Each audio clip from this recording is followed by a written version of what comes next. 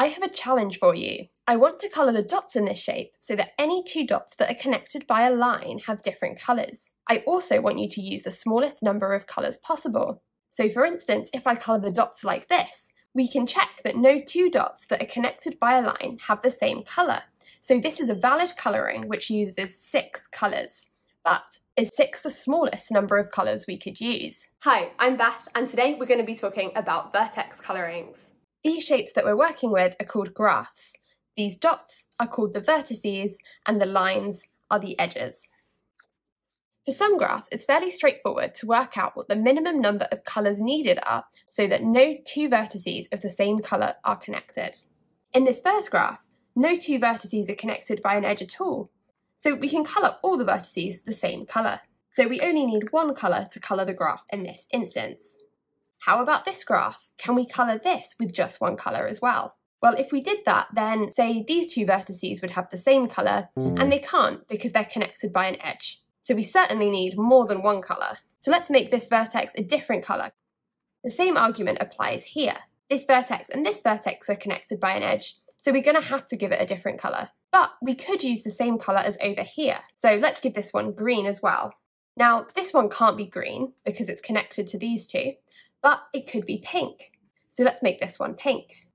This is a valid colouring. All the pairs of vertices connected by edges have different colours. So a colouring is possible with two colours, but it wasn't possible with one. So that means the smallest number of colours needed to colour this graph is two. How about this graph? Well, we certainly can't colour it with just one colour for the same reason as before. But can we do it with two colours? Well, let's make these two vertices connected to our first one different colours to the first vertex. Now let's see what happens if we keep doing what we did here. In the previous graph, we just kept alternating the colours. If we do that here, we see we get a colour hmm. clash. If I colour this one orange, this one can't be orange or purple because it's connected to one of each of those colours. So it's impossible to colour this graph with just two colours. But if we make this final vertex a third colour, we see this is a correct colouring. No two vertices sharing an edge have the same colour, so the minimum number of colours needed in this case is three.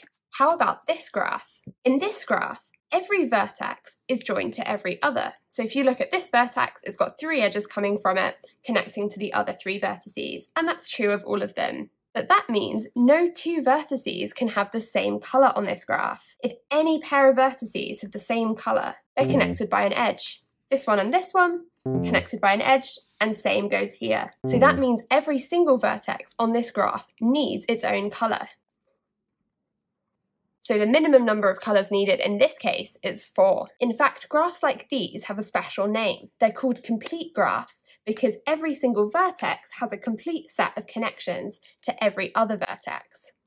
We can have complete graphs of any number of vertices. So this is the complete graph on three vertices, this one with five and this one with eight. And in each case, every single vertex is connected to every other vertex in that graph.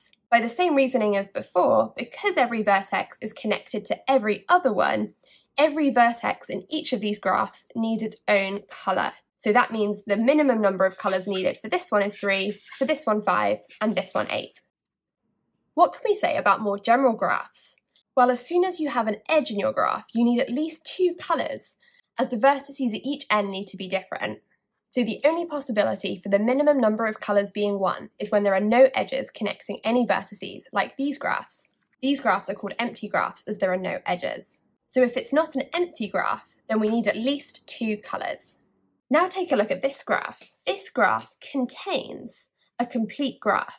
This is the complete graph on five vertices. We saw that in order to colour the vertices of a complete graph, we need a different colour for every single vertex. This is true also if the graph contains a complete graph. If any two of these vertices in this subgraph were the same colour, we'd have a problem because they'd be connected by an edge. And this is true more generally. In any graph, if you find a complete subgraph inside it, then we need at least the number of colours that are required to colour that complete subgraph. This is in fact a really useful tool when considering any graph. Find any complete subgraphs and use those as a starting point. So we now know some things about graph colouring. We know we need at least two colours if it's not an empty graph. Also, the number of colours needed is at least the number of vertices involved in the largest complete subgraph. So we have some ideas for a minimum bound for the number of colours needed. What about a maximum bound? Every vertex in a graph has something called a degree. These are the number of edges sticking out of it. So in the case of this vertex, it's got degree 3, as there are one, two, three edges coming out of it. Every graph has a maximum degree. This is the largest value of a degree for any vertex in the graph. These two vertices have degree 4, and no other vertex has a degree bigger than that. So the maximum degree across this graph is 4. Let's imagine colouring a general graph. Let n be the maximum degree of the graph plus 1. Can we colour our imaginary graph using n colours? Let's start by colouring any vertex. This can be any colour because it's the first one. Now let's colour another vertex in the graph. Either it's connected to the first one and needs a second colour, or it's not connected to the first one, so it can receive the same colour. Let's start this process. Let's say I pick this vertex over here. It's not connected to the first one, so it can receive the same colour. Let's pick another vertex. Let's say I pick this one. This is connected to one with the first colour, so it needs a new one. Now imagine we've done this for a few vertices and now we're colouring another one.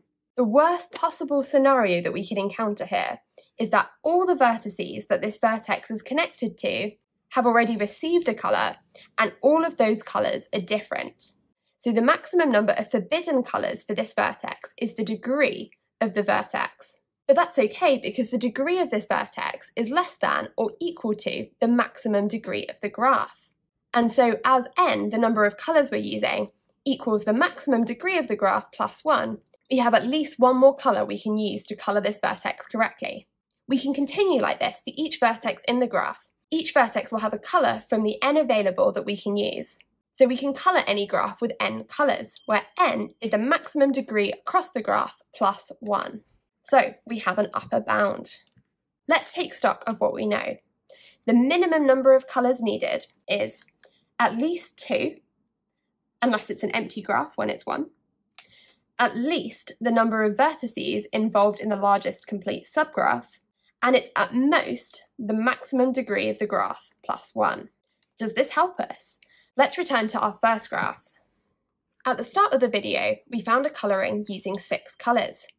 Was this the fewest colours needed? Well, let's look at point three first. We know the number of colours needed is at most the maximum degree of the graph plus 1. Let's find the maximum degree of this graph.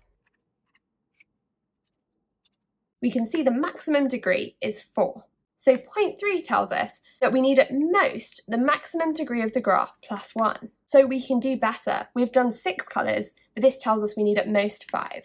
And that's not too hard to see. For instance, if we swap the purple vertex with a pink one, then we still have a valid colouring, and we're only using 5 colours now. But now is 5 the minimum, or can we do better than 5? Let's look at the other things we've learnt. So certainly we need at least two colours because we have an edge. And point two says we need at least the number of vertices involved in the largest complete subgraph. Well, we can see that we've got a complete subgraph of size 4 here. All four vertices here are joined to each other. So each of those must receive a different colour. So we definitely need at least four colours to colour this graph. So the minimum number of colours needed is either 4 or 5. It's at least four and it's at most five, so it's either one of those. If we can spot a colouring with four colours, then we know this is the answer. Four will be the minimum number needed. So at this point, a bit of trial and error will help us, as we only have two possibilities. Can we colour this with just four colours? And if I spend a bit of time thinking about it, yes we can. Let me change this green one up for a blue one. This is now a valid colouring with four colours. So we have found and proven that the minimum number of colours needed to colour our graph is 4. So, we've made some good progress with our vertex colouring problem, but unfortunately, our facts alone might not help us find the minimum number of colours needed for every graph. In fact, this number that we've been trying to find, the minimum number of colours needed, has a special name. It's called the chromatic number of a graph. And in general, finding the chromatic number of a graph is a really difficult problem. There are some more tools we can use to help us. So we found a maximum bound for the chromatic number, and we found that as being the maximum degree of the graph plus one. But there's another theorem out there called Brooks' theorem, which says actually it's slightly better than that. In almost all cases, the chromatic number of a graph is less than or equal to the maximum degree of the graph, so it's one better for most cases. The only exception are complete graphs and odd cycles, and in those cases, the chromatic number is that upper bound we found, the maximum degree of the graph plus 1. Now you might be thinking, why do we care about the chromatic number of a graph? Well, perhaps you've heard of the four colour map theorem. This says that in any map we can colour each country so that no two neighbouring countries share the same colour using at most four colours across the map. This sounds quite similar to what we've been talking about, except with vertices replaced with countries and edges replaced with borders. And there's a reason for that. If we replace each country with a dot and connect the dots when their respective countries share a border, we can see this becomes a graph colouring question. If we can colour the vertices so no two vertices sharing an edge have the same colour, then we'll have proved the four colour map theorem.